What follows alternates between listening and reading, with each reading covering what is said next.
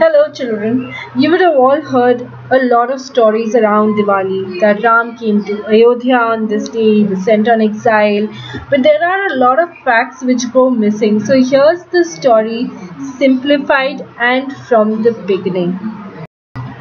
Now, it's believed that many centuries before Christ, there was a king called Dashrath uh, who was the king of Ayodhya.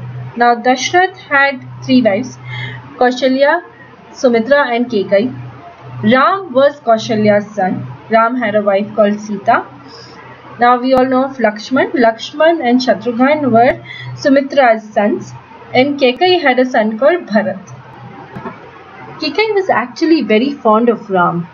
In fact, she was extremely happy when it was decided that Ram would become king. But then one of Bharat's uh, governesses influenced Kekai and instigated her that if Bharat doesn't become king, you know, his children would not become be rightful heirs to the throne anyway. And she Kekai would also lose the status of being queen. So right now, since she was the king's wife, she was queen.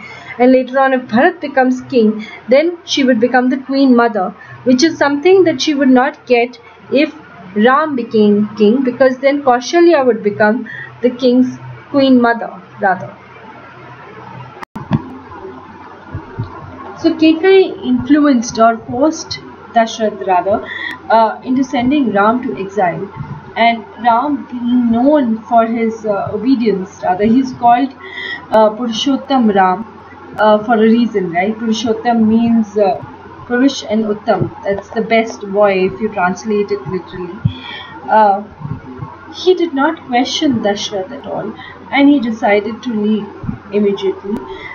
His wife Sita and his younger brother Lakshman decided to accompany him for 14 years and they lived in a forest, uh, giving up all their royal luxuries. So now it was just Ram, Sita and Lakshman who were in the forest on exile. Now Surpnakha, who was actually our sister, happened to me happened to see see Ram in the forest, and she instantly fell in love with him. So she decided to propose to him. However, Ram told uh, that he was already married and he believed in being married to only one one person and having only one wife. So. Um, he rejected Surpnakha's proposal and he asked her to go and meet Lakshman uh, instead. Lakshman was also married, although his wife had not accompanied uh, them to exile. So uh, Lakshman said the same thing to Surpnakha and uh, rejected her proposal. So it so happened for some reason that uh, Ram and Lakshman also started making fun of Surpanakha after uh, the rejection, which got Surpanakha to get really embarrassed. Uh, she in fact uh, tried to harm Sita and um, in retaliation to stop her from harming her, Lakshman happened to cut off Surpanakha's nose. Now, of course, uh, Surpanakha felt really humiliated and she decided to go to one of her brothers, Khara, uh, Khara waged a war by send, uh, on Ram and Lakshman by sending seven demons uh, into the forest and uh, Ram and Lakshman uh, killed all of them. So now Surpanakha went to Ravan and she related the whole story to him. Uh, Ravan was not only did not only want to take revenge for all that had happened, but he also wanted to meet Sita. He was very uh, intrigued by and uh, attracted to her beauty. He, he wanted to meet her. He had not met her then. Um, so he dressed up as a disguised uh, himself as a saint and went before Sita and he abducted her and got her to Lanka. It is although said that uh, Ravan never really never touched Sita uh, and he always respected her. So Ravan abducted Sita on a flying chariot and as they were above the clouds a huge bird-like creature or god as many believe called Jatayu happened to see Ravan abduct Sita and he decided to confront Ravan. So a fight ensued between Jatayu and Ravan and Ravan in the process happened to cut off Jatayu's wings. Jatayu then fell on earth uh, in a place in Kerala and there's actually a national park named in Kerala after Jatayu. It's called Jatayu National Park. Now getting back to the story, uh, of course then there were some damages to the chariot and Sita was also smart in the process. She also uh, somewhere in between dropped her jewelry. And uh, eventually somehow they landed in Lanka. Now in the midst of all of this Ram and Lakshman were also aggressively searching for Sita. And they, they also happened to come across some of the clues you know pieces of the broken chariot and the jewelry that she had dropped.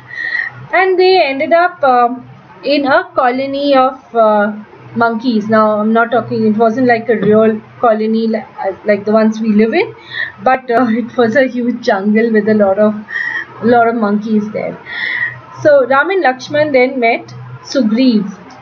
Rather lakshman met sugriv and he convinced sugriv that you know uh, who sugriv was the leader of the monkey uh, the monkey army.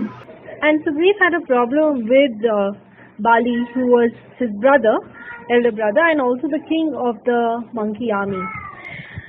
Bali was very mighty, but he didn't really take care of the monkeys, and Sugriv uh, took care of the monkeys, but he wasn't as uh, mighty and uh, as uh, Bali was.